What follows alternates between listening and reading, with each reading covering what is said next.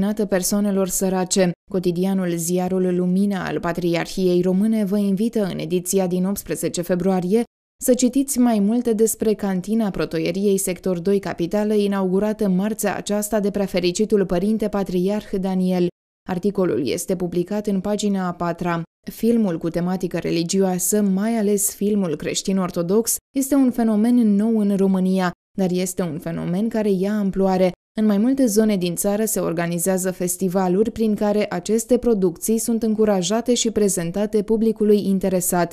Un articol despre Festivalul Național de Film Filmul Anului Ortodox de la Slobozia este publicat în pagina a doua. Protopopiatul Ploiești Nord are un nou sediu, un material dedicat evenimentelor care au avut loc la Ploiești cu ocazia inaugurării citiți în pagina a treia. Citiți în pagina a cincea un interviu despre ora de religie și despre noile responsabilități ale părinților în sistemul educațional, realizat cu părintele Gheorghe Dogaru, inspector de religie în cadrul Inspectoratului Școlar al municipiului București. Cotidianul Patriarhiei Române poate fi citit și pe internet la adresa ziarullumina.ro.